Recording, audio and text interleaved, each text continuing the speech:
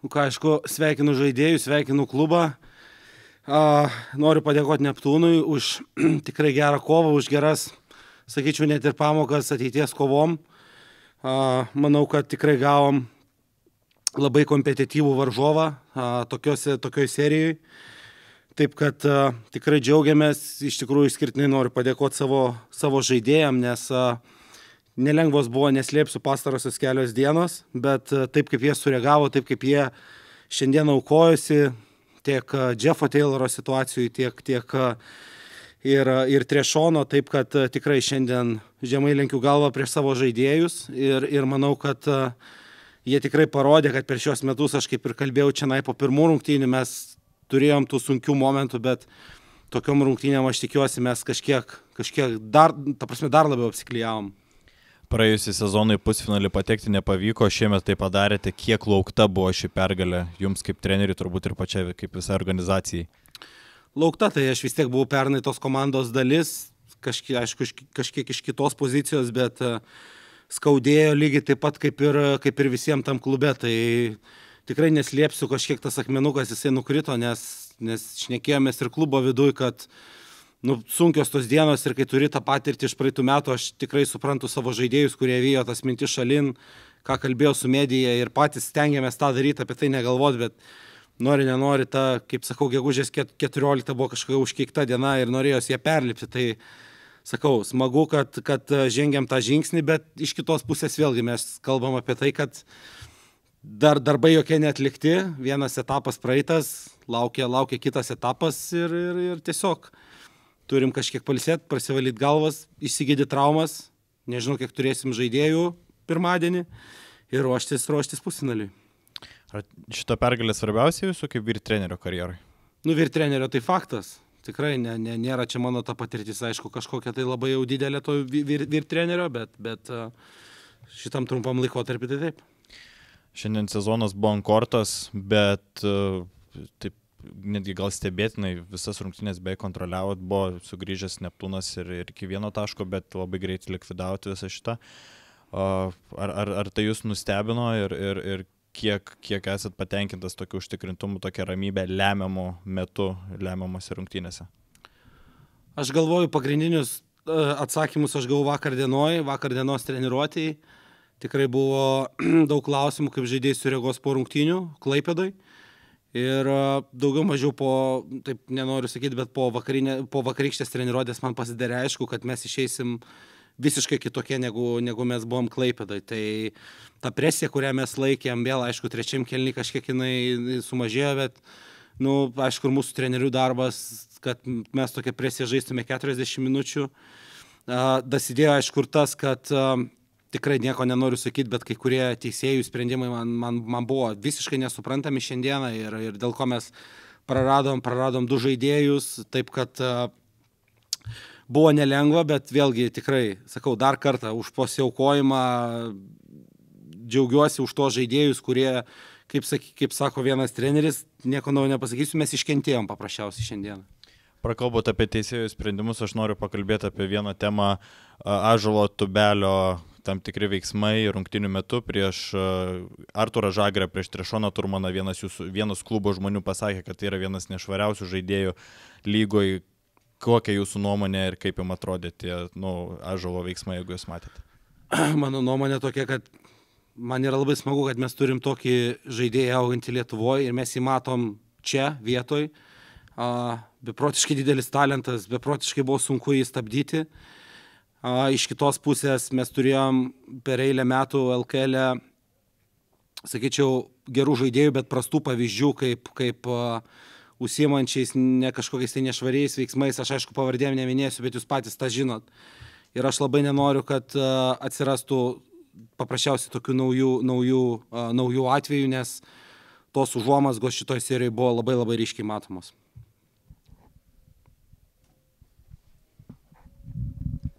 Treneri, e, buvo daug konspiracijos teorijų, kad e, po pergalingos serijos e, tie Neptūno pralaimėjimai Kedainams ir Pasvaliui nebuvo visai netikėti. Ar pasiekė tos kalbos jūsų ausis ir ar tai padarytų malonesnę šią pergalę? aš atvirai pasakysiu, mes net ne, ta tema net nebuvo kažko pagrindo šnekėti, nes a, taip, jie turėjo pergalių seriją, jie laimėjo prieš rytą, išvyko, laimėjo namie prie žalgyrį, bet tai, kad jie pralaimėjo po to dvi rungtynės kėdainėm ir, ir, ir pasvaliui, aš galvoju vis tiek, nu, kažkur gyvenime yra ta tiesa per vidurį ir, ir jeigu jie sezono metu tai laimėdavo, tai pralaimėdavo, buvo tai tarp šeštos, aštuntos vietos, aš galvoju, viskam yra balansas. Žiauriai gera komanda, gerai treniruojama, bet jeigu atvirai kalbant, tai aš po tų pralaimėjimų, aš realiai po jų pergalės prie žalgerį mes kažko panašaus ir tikėjomės. Nes patys matėt, kaip ir mum po rungtynių su žalgeriu buvo nelengva čia pirmose rungtynės ir kitom komandom. Tai aš kažkaip tikrai noriu atmestas tas kažkokias tai konspiracijas, nes nes man, nežinau, tai visų pirma būtų žiauriai negarbinga, visų antra, tai galbūt žaistų net mano komanda, jeigu kažkas, kažkas tai nori mus rinktis. Tegul, jeigu taip yra, mes, mes, mes tą paimsim tada. Akcentavo tą žaidėjų reakciją, tai turbūt čia nais pagrindinis pavyzdys yra Kristupas Žemaitis, kuris šiandien daužė karjeros rekordus. Ką galima pasakyti šiandien apie jo pasirodymą ir tą reakciją parodytą? Kristupas būtent vat, vienas iš tų pavyzdžių, kur, kur aš ir minėjau, taip, polime 6-6 tritaškiai, žiauriai svarbus, vėlgi reaguojant į tos mūsų prastus sprendimus Klaipėdoj polime, būtent žino, žinant, kaip ginasi Neptūnas ir visi tie jo tritaškiai metimai būtent atėjo iš to, kad mes, kaip sakyt, įsprendėm tos savo reikalus apžaisdami Neptūno sistemą, bet iš kitos pusės vėlgi aš noriu jį paminėti kaip vieną tų žmonių, kuris davė tą akcentą rungtinių pradžiai spausdamas kamulį E, kaip sakyti, išjunginėdamas tuos, tuos pagrindinius gynėjus Neptūno ir, ir taip toliau. Ir šiaip žiauriai už jį smagu, nes irgi, sakau, tų sezono metu buvo visokių tų bangavimų, bet aš galvoju, jisai man kaip treneriui davė atsakymą jau ne vieną kartą šiais metais, dar būnant asistentų, kad, kad tu gali jo pasitikėti. Taip lengvai pajokaujant, laukia trejos išvykos rungtynės su rytu dabar, kaip pats jaučiatės prieš šią seriją? Ai, taip kaip aš jaučiausi paskutinės dvi dienas, tai aš nemanau, kad mane kažkas čia labai jau nustebins. Uh, laukiam paprasčiausiai žiūrovų. Manau, kad Vilniaus miestui ir, ir apskritai krepšinio gerbėjim tai bus gana gera savaitė, galbūt net pusantros. Taip kad uh, daug rungtynių, vienos paskui kitas. Manau, kad čia istorija turbūt pirmas, pirmas toks atvejis. Tai paprasčiausiai laukiam, laukiam kuo daugiau žiūrovų ir, ir, ir geros atmosferos. Kam jūs klijuotumėt favorito etiketę šitoj serijoje, ar rytui, ar savo, ar matot lygius šansus? Nu, aš tik tai galvoju, kaip, kaip įspręs savo kažkokius tai žaidybinius klausimus, o tas etiketės, nepykit, bet manau, klijuojat jūs žurnalistai. Treneriai, nepaslaptis, daugiau balsą praradot per rungtynės ar po jų? 50-50. Uh, užsiminėt apie Taylorą Turmaną, tai gal kažkas jau aišku, kai, ar kiek rimta ten? nu, aišku, pirma mintis, tai tikimės, kad nieko, nieko labai, labai stipraus, uh, lauksim, lauksim, ką pasakys medikai, bet, uh, bet tikimės, kad, kad nu, bus jie tose rungtynėse artimiausiose. Ką Gersono Brukso iškritimas keičia apskritai šitam visam atkrintamosiam, kiek jam liko? Gerisonas iš vis yra iš tų žmonių, kuris, aš iš tikrųjų per, per savo tą trumpą karjerą, aš tiek kaip asistentas būdamas, tiek kaip vyr treneris, aš retai mačiau tokį atvejį, tokį imlų, sakyčiau, žmogų, nes tai jam pirma patirtis Europoje ir, ir taip kaip jisai priima visą tą informaciją, tai, tai iš tikrųjų buvo įspūdinga ir ta transformacija jo nuo, nuo to jo pasirašymo iki tai, ką mes matėm jo, jo paskutinėse rungtynėse. Faktas, kad keičiamės, mes, sakau, tokie buvom kaip ir turėjom visą sezoną tų problemų, galbūt net gynėjų grandy daugiau, dabar, aišku, nusispjaunant, tai, tai kaip ir, kaip ir ok esam, bet uh, su didelių žmonių rotacija mums yra, yra žymiai, žymiai sunkiau ir tiesiog visi žaidėjai, nu ką, turi slinktis per tas pozicijas, kažkur prarandam ūgą, bet kažkur, kažkur tikiuosi, kad mes, mes galim net ir išlošti iš to.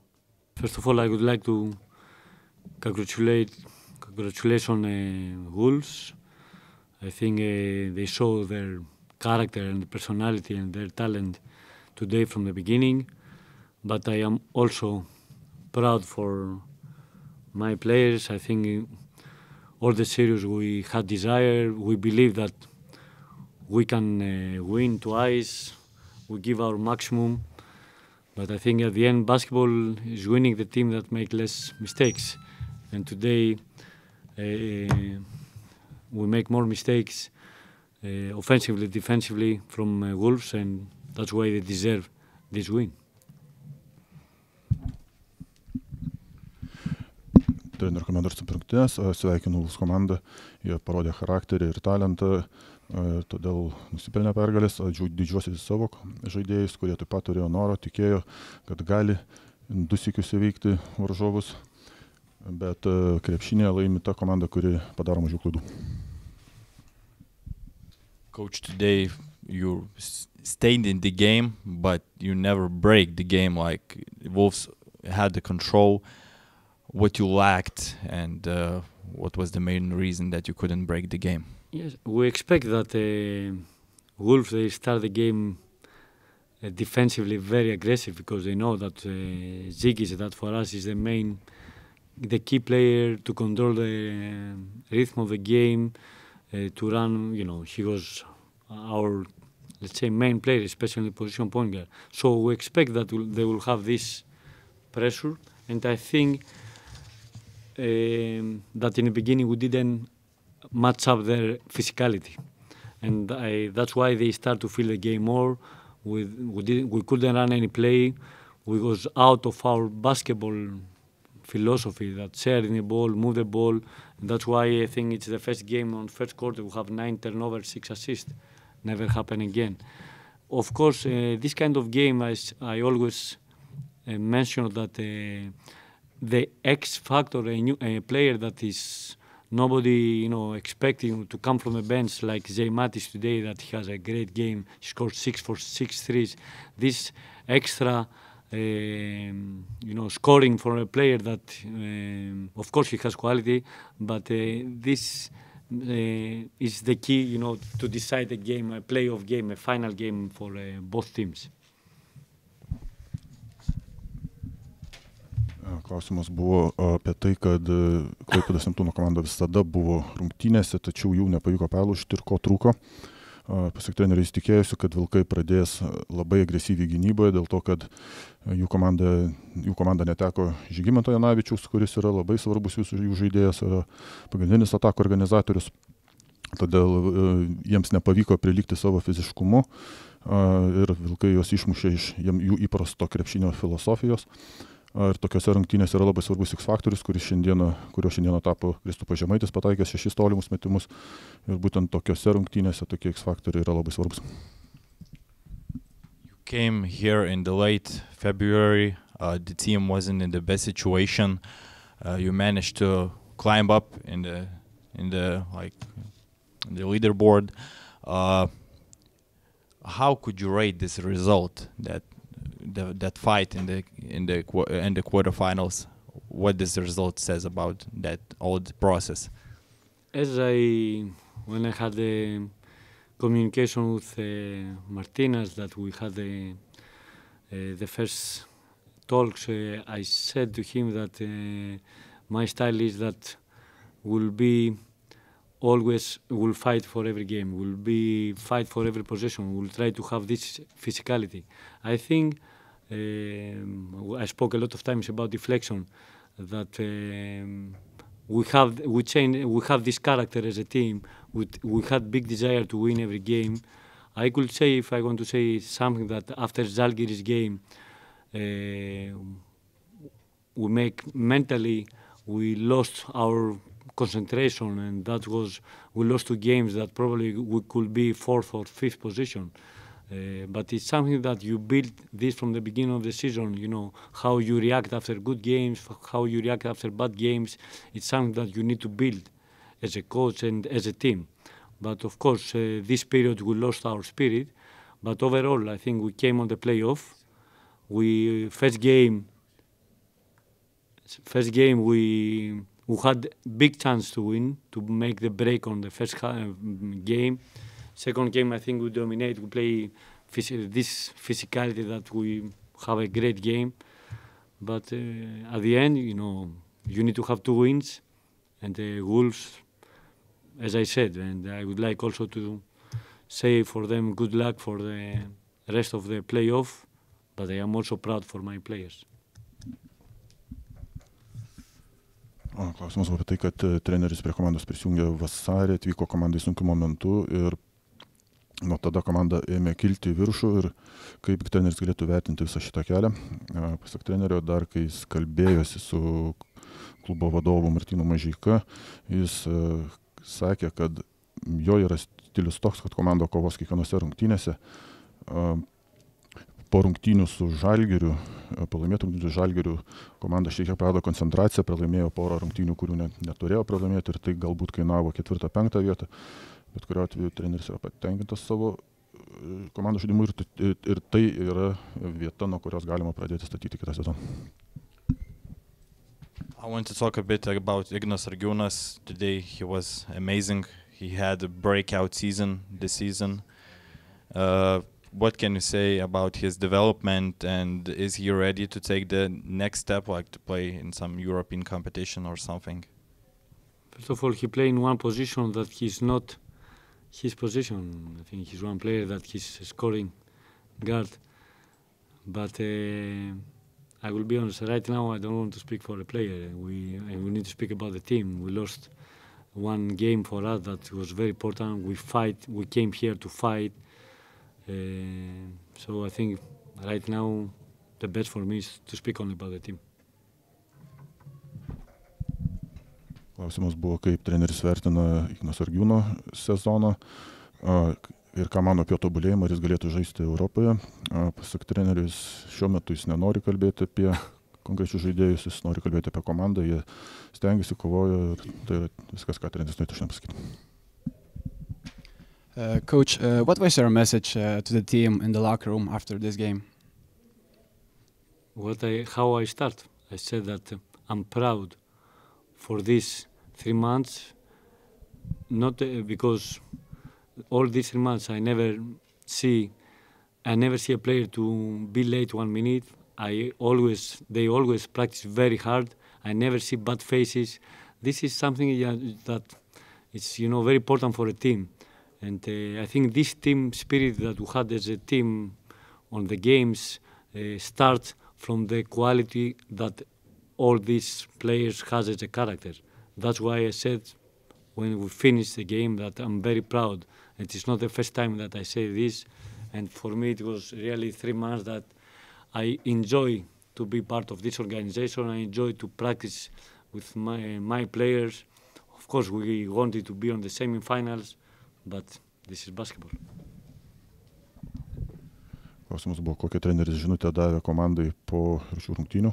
Pasak, treneris, jis, pasak trenerio sakė tai, kuo ir pradėjo šią spaudos konferenciją, tai yra tuo, kad jis didžiuojasi savo komandą, e, ji sunkiai dirbo tuos tris mėnesius, e, nebuvo nei vieno atveju, kad kuris nors žadės pavlotų bent vieną minutę ir tai yra labai svarbu.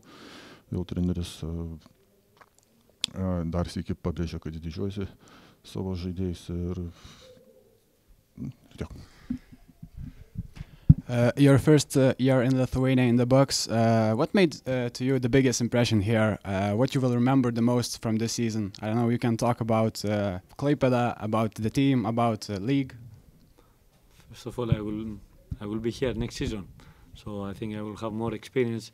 But uh, overall, I would like to say that uh, all the arenas is very quality. Uh, I think it's very important for everyone this, and also this is what I share with other coaches that I speak in Greece and uh, some other coaches over there Europe, that the quality of this league it's much higher than everybody believe.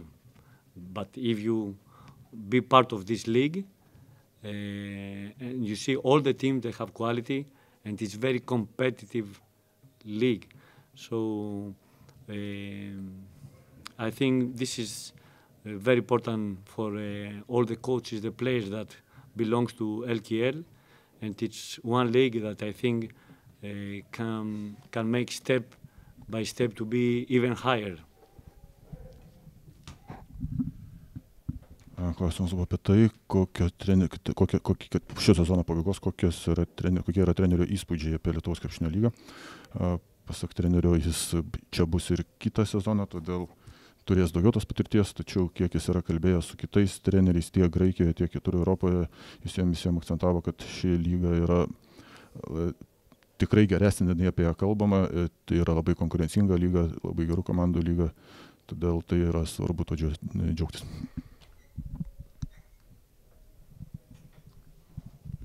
Hello, coach. As you've mentioned, you are staying next season. How much of this team would you want to keep, and how much it is realistic to keep? I think uh, after a game, uh, we need to speak about the game. We need to. I can give you all the answer, but right now, to think about the next day, I think it's too early. I think we need to uh, finish today the game. I will stay a few days here. I will try to watch some other games. I will speak with the management and will try to create a team with my philosophy. I think this is the most important. If a player, if a coach, uh, to build from the beginning of the season, to build the, the roster, that with my style.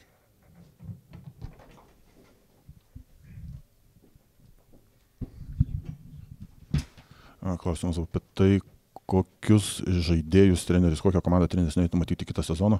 Pasak trenerio šiuo metu, kai yra tik pasibaigus rungtynės, reikėtų kalbėti apie jas, dar per anksti kalbėti apie kitą dieną, tačiau jis planuoja e, žiūrėti dabar kitas jau vykstančias e, pusfinalio rungtynės, taip pat kalbėsi su savo komandos vadovybė, nes e, suburti, jis nori suburti tokią komandą, kurie tiktų jo žaidimo filosofiją. Interesting to hear your opinion. Who do you think will win the series between Ritas and Wolves? Uh, I think it will be very tough series, very tough, and uh, I think small details will decide the winner. It's two teams that both of them they have high quality. They have players that they can decide a close game. Uh, so I think it will be very interesting this game, these games.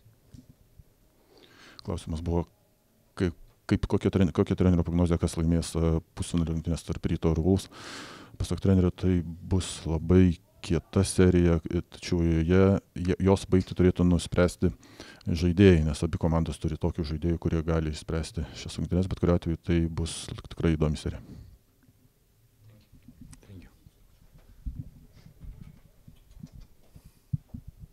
Coach, you spoke about uh, bad period uh, after uh, game, uh, which cost you a lot. Uh, was there uh, psychology the, the only problem, or there were also physical problems, like oh. having a lot of veteran players?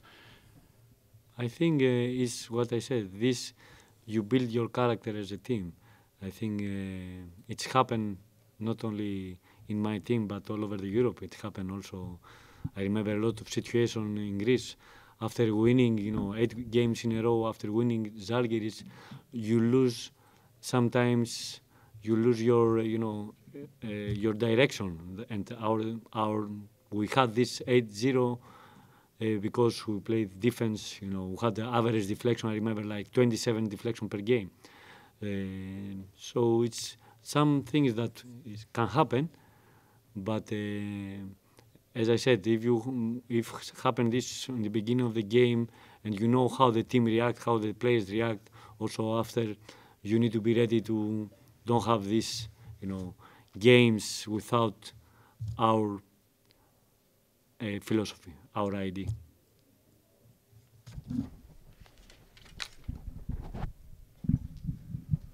Klausimas buvo apie tai, kad treneris minėjo, kad buvo komandos blogas laikotarpis po pergalės prie Žalgirį ir klausimas buvo, dėl ko trenerio nuomonė tai nutiko. Pasak trenerio, a, tokie dalykai m, formuoja komandos charakterį.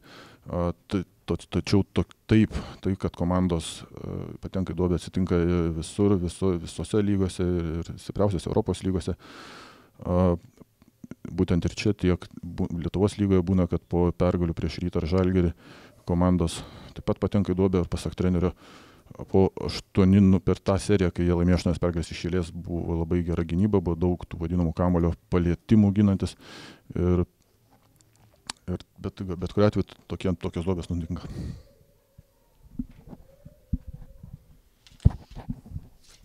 May I ask you about uh, Ažalas Tubelis? Uh, in your opinion, what would be the right step for him for next season? First of all, I would like to say that it's one uh, great prospect for uh, Lithuanian basketball. He's one player that has quality, and uh, the only thing I would like to say that he will be in the future EuroLeague, player. Uh. I say in the future, on the future. I think he need. Uh, he's one player that mentally, for me, this is the most important. Mentally, is very strong, uh, and if you are mentally strong and you have the talent, you will you will be high level player.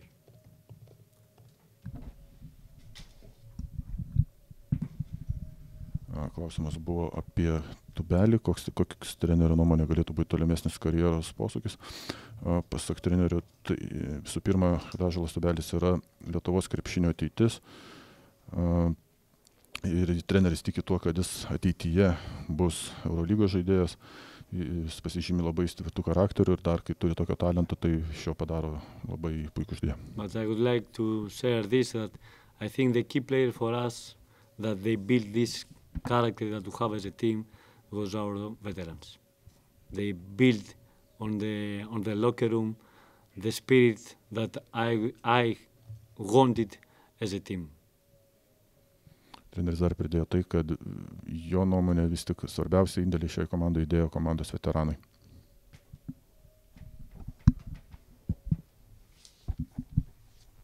Coach, how important is for Neptunas to play in uh, some European competition next season? Have you talked about this with management? Uh, what's your op- opinion on this topic? I think uh, we say with the management that we need to finish to see our position and after to put everything on the table and to decide what is the best for for the team.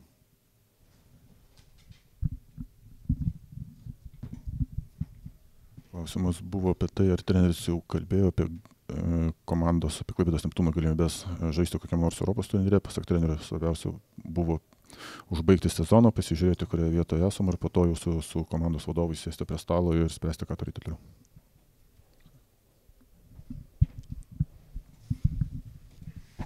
Last question. Uh, there are two Greece, Greek teams uh, in EuroLeague Final Four. What outcome would you expect? Think uh, everyone in Greece they have this expectation. I think Panathinaikos uh, had a great season that uh, built a new system, a new team, but they have the quality. They have, I think, it's very important for the Greek basketball that we have, for my opinion, two of the best coaches in Europe, uh, Coach Ataman and Coach Barzokas.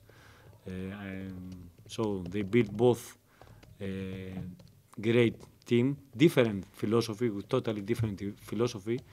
But uh, you see, the most important is a coach to have his philosophy and to build, uh, to put this in the team, to build a roster with uh, this quality.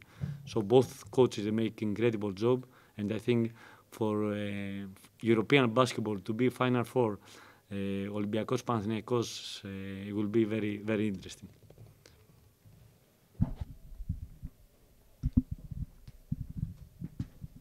Klausimas buvo apie tai, ką treneris mano apie dvi komandas, apie dvi graikų komandas, kurios žais Eurolygos finalo ketvirtą, pasak trenerių.